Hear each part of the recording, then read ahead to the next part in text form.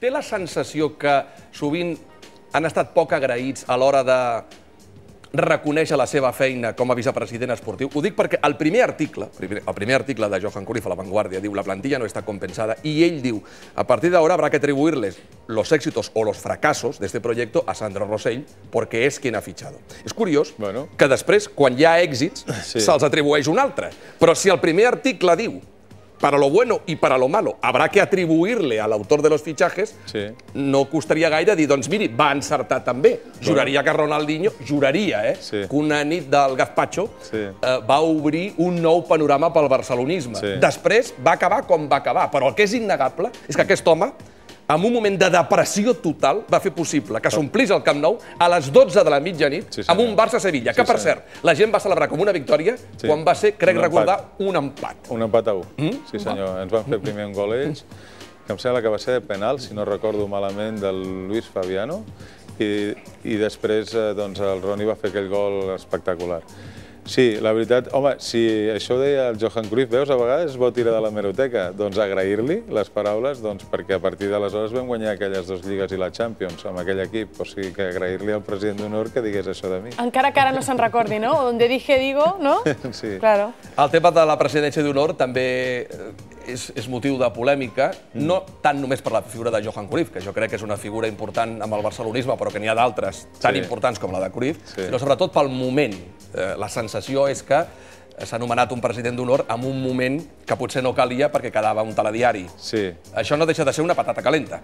Bé, més que una patata calenta, és una decisió de la Junta doncs que, eh, evidentment, eh, si el soci del Barça considera que és un tema i ho demana que s'ha de posar a debatre, el posarem a debatre, evidentment, i que jo sempre dic, si el soci considera, després de debatre aquest tema, si tu ha demanat al soci que és eh, una cosa que no està bé, doncs no estarà bé. I si considera que està bé, fantàstic i perfecte i president d'honor. Parlant de debats, els senyors del CAC, que sovint fiquen el nas i, i, i no sempre el fiquen bé, no podrien fer alguna cosa per tenir un debat de les teles públiques, que segurament serviria per estalviar calés i perquè la gent entengués que no cal triplicar un debat? Pregunto, eh? Si Televisió Espanyola, Sí. TV3 Sí. i BTV uneixen forces, no seria més normal un debat de teles públiques per tots? Sí, però eh, jo també estic d'acord, eh? Jo estic d'acord perquè eh, això, si no, al final ho portem allò, va, a veure quina picabaralla hi haurà avui, en lloc de parlar de projectes, que és el que ens agradaria, almenys a nosaltres, no? Eh, estic totalment d'acord, però, al fi, i, però al final n'he- n'hem fet quatre, n'hem fet quatre, Doncs encara li queda. i, i, no, i, i la, la gràcia d'això és que m'he hagut de sentir que no m'atreveixo en els debats, no? Quatre. Quatre. I, i, I els que queden. Miri, dels, dels darrers, aquí tenim a la porta entrevistat, la porta molt jove, entrevistat per l'Arús, també jove. Mm, Això... mm. El que passa és que ell juraria que era la meitat del que és ara. Mm. I una de, les, una de les exclusives que em va donar és aquesta. Jaume Roures està com basat, no conmigo. bueno, està bé, està bé. I jo, imbècil, m'ho vaig creure. Bueno, va ser una exclusiva, no? Va ser una exclusiva. Eh, En fi. Eh, Espero que d'aquí uns anys no haguem de repassar aquesta, aquesta entrevista. No, no. Mm, acabem. Mm, Tothom vol nom de fitxatges. Jo interpreto que és difícil, però sí, Sí. que és cert que tothom, tothom està esperant que si eh, Sandro Rossell o un altre accedeix a la presidència, hi hagi algun fitxatge més dels que pugui fer la porta, sobretot també per donar-li un segell que crec que tothom té dret a donar-li, eh, mm. això sí, amb el vistiplau, lògicament, d'un nou director tècnic clar. o del mateix i de Guardiola. Hi haurà calés suficients Sí. per fer algun fitxatge més dels que pugui fer la porta abans que marxi?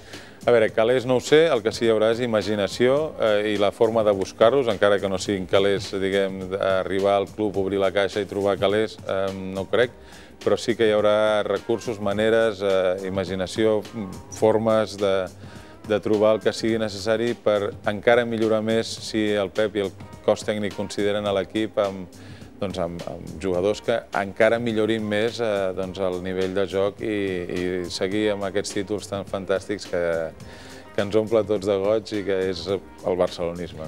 Una curiositat. Mm, sé que el tema està als jutjats i no, el que no vull és interferir, però quan parlen d'aquella possible hipotètica comissió que hauria ofert eh, el Chelsea pel tema de Ronaldinho, la Porta hi era present en aquella reunió?